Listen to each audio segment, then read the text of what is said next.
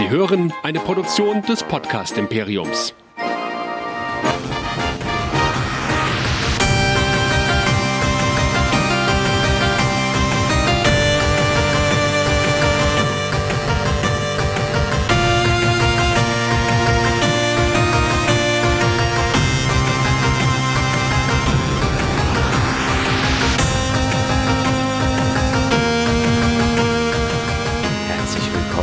Einer neuen Ausgabe von Game of Nerds, dem Game of Thrones Podcast hier bei nerdizismus.de.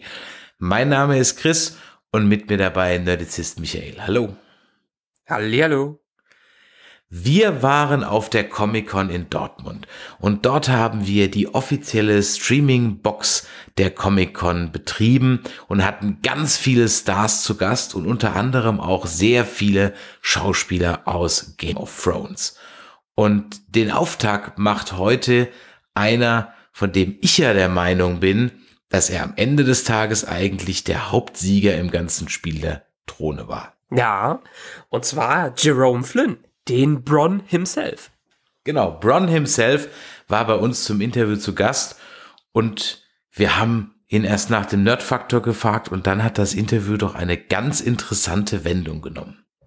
Ja, wir haben letztendlich über Greta Thunberg, den Klimawandel und die Umwelt gesprochen, weil das ist ein Thema ist, was ihm sehr stark am Herzen liegt. Und dieses Interview ist ein Auftakt zu einigen weiteren Interviews mit Game of Thrones Darstellern. Also wünschen wir euch an der Stelle schon mal viel Spaß und äh, hört auch beim nächsten Interview wieder rein. Und jetzt wollen wir doch mal hören, was Greta und Bronn so gemeinsam haben.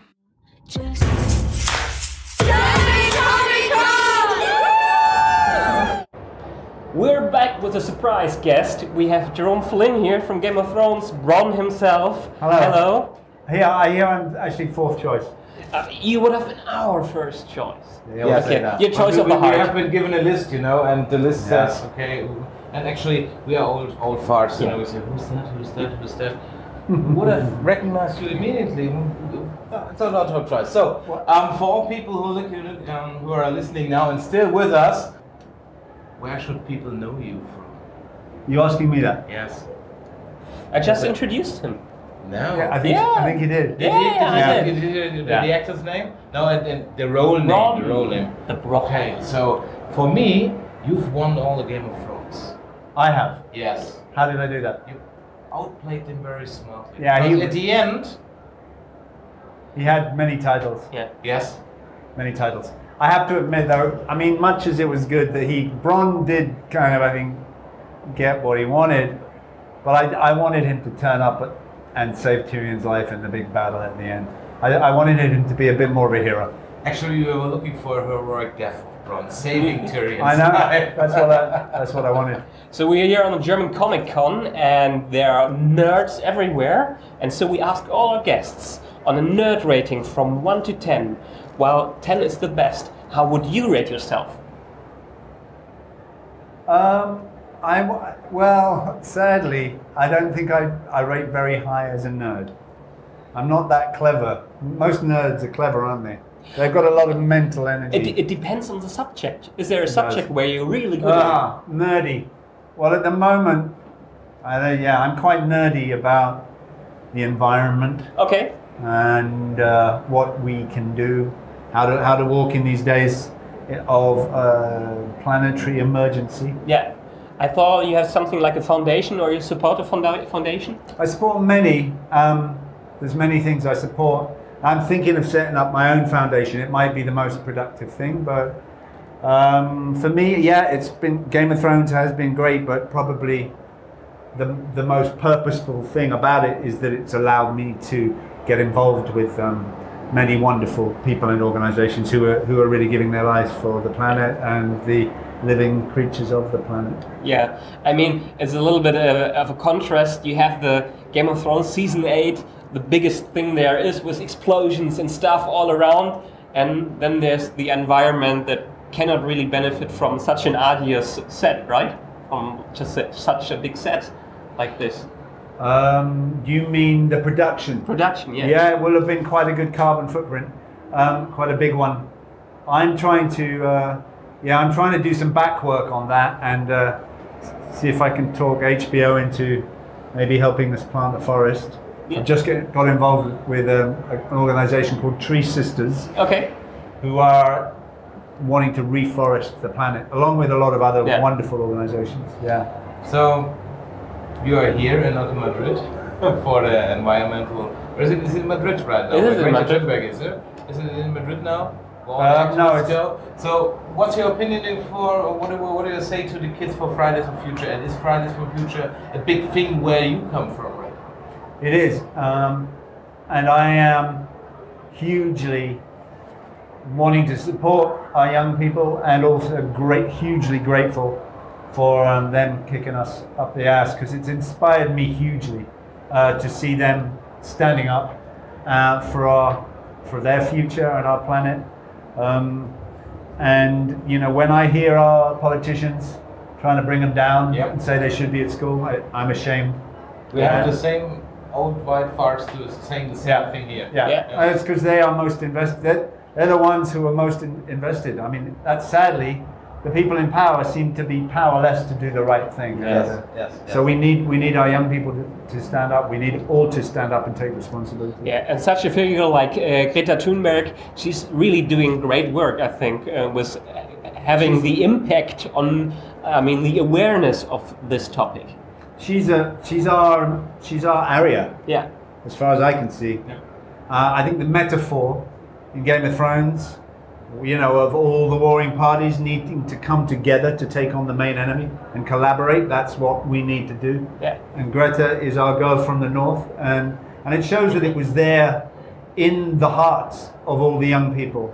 Um, imagine being born, born, you know, into this time and coming into your adulthood and in your teens, uh, in in terms of what we have uh, we've given them.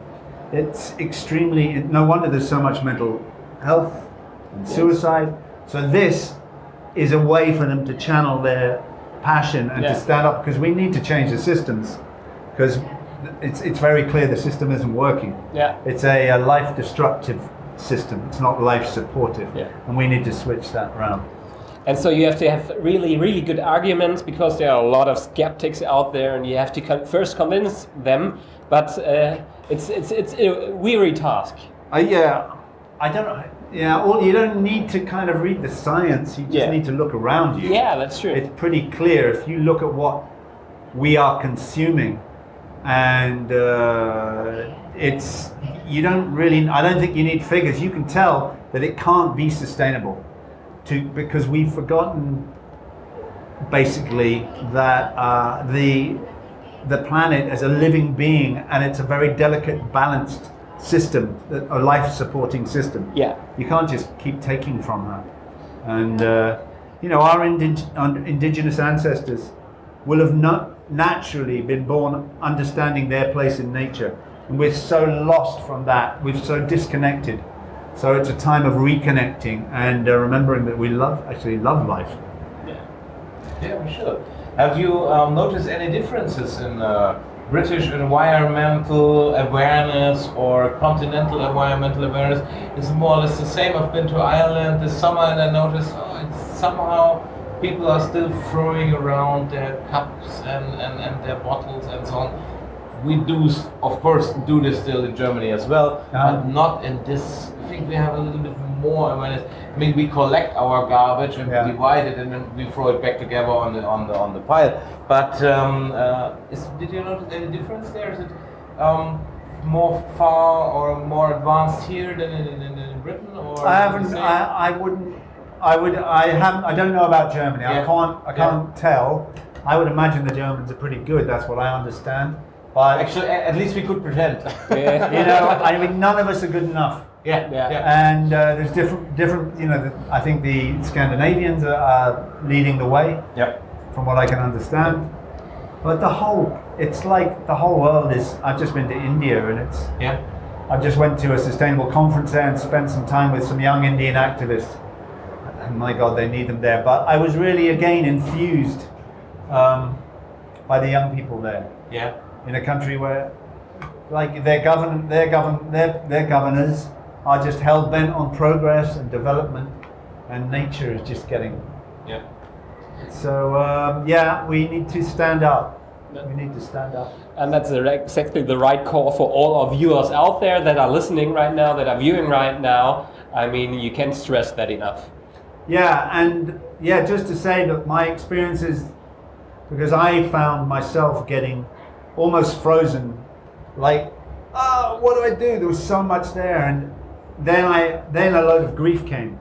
And it's very important to allow the grief to flow because that's our. It's there for a reason, and it's connected to love, love and grief. If you're not feeling the grief, then you're also blocking the love. Yep.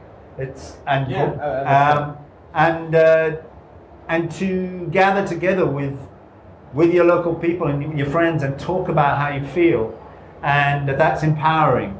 And our culture makes us think that we can't make a difference, but that's what it kind of wants us to feel. Yeah. Like we don't. How can we?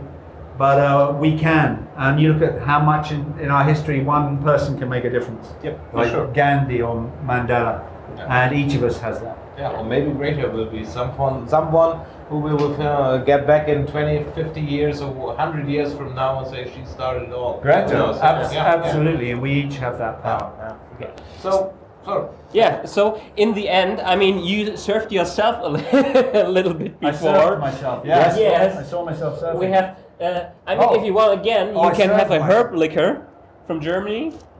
So, yes, This is what I'm here for. yes, yes. Beside you, my Is this herb? Um, yeah, it's herb. It's a little bit Yes. like Jägermeister. Uh huh. But it's a, it's herbal, Herbal, yes. Yeah. so it's good Yes. for me. yes. It's a, a really Very, good. very, very, For very this healthy, cold times, healthy. Yeah, definitely. especially in these times. Yeah. And um, so, but um, yeah, are you into this? Or am I? a Well, I don't know, I haven't As a tasted- British, more into more a whiskey guy. Or do you I guys- love whiskey, but also I like a nice herbal liquors. Shall we try? Come on. I'm not going to put one back. I'm not doing the whole thing because Okay, I've that's still okay. got you can you can Yeah. close it. I've still But got some work to do. Okay, then. Yes, for the for the director as If well. If we do it, then we do it right. So, So, cheers. cheers. Cheers. Cheers. Thanks for being here. I come over. Yes. All right. It's dangerous here. Yes. Are we still being filmed? Yes, yes. We're still still being being filmed. filmed, um, and I want to be filmed too. Yes. Thank you for that interview. Cheers. Cheers. Cheers. Cheers. So, Ah. Yeah, I like that stuff. good. And the very last thing, I mean, you are a singer, a little bit. You were Steady on. Steady yes. on. I do like singing. You know the Christmas carol, uh, "Oh Christmas Tree." I'm not going to sing it. You're not gonna sing because we have a German version of this. Yeah. And every guest that was here uh, just sang a little bit of it. Oh, Tannenbaum, oh Tannenbaum, wie grün sind dein Blätter. Not bad, huh? Yeah, pretty great, I know thanks. it's, it's the umlaut again, you know.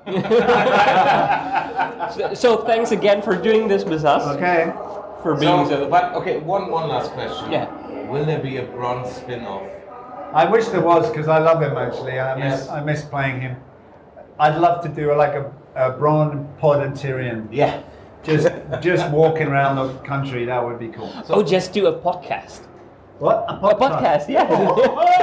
oh, yeah, yeah, yeah. Okay, okay. Michael, you started it all. Yeah. Jerome, All right. thank you very much for being Yeah. here. Thank you. Have a nice, a pleasant stay at the con. Thanks. Plant some trees, Yes, please. plant some Bye. trees. Tree sisters. Thank you very much. Thank Okay. you very much. Thank you.